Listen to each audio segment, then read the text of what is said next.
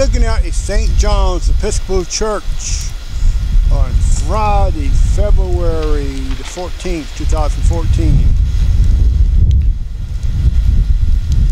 The day after the snowstorms, two with a hit in Thursday, 2013.